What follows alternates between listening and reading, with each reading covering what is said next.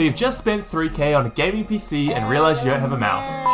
Well, if it ain't broke, why fix it? Get yourself a tried and tested SteelSeries Rival 3 for under 100 bucks. It's lightweight at 77 grams, easily programmable, and extremely durable. It's cheap and will probably perform better than the pricier stuff. It's the equivalent of a sleeper build Honda Civic with a laptop in the passenger seat. Plus, you even have some sick customizable underglow.